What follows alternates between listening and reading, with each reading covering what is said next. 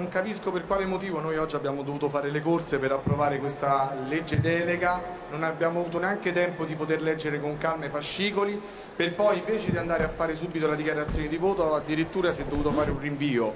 Questa è anomala, la gestione dell'Aula non dovrebbe essere così anche perché questa mattina sono stati sovvertiti l'ordine del giorno con cui erano stati elencati i provvedimenti. Questo modo di fare ci lascia basiti, perplessi e soprattutto credo che sia eh, anche per l'urgenza che questa maggioranza ha voluto portare in aula il provvedimento della legge delega, sicuramente è disdicevole e noi dell'opposizione lamentiamo e contestiamo questo modo di fare.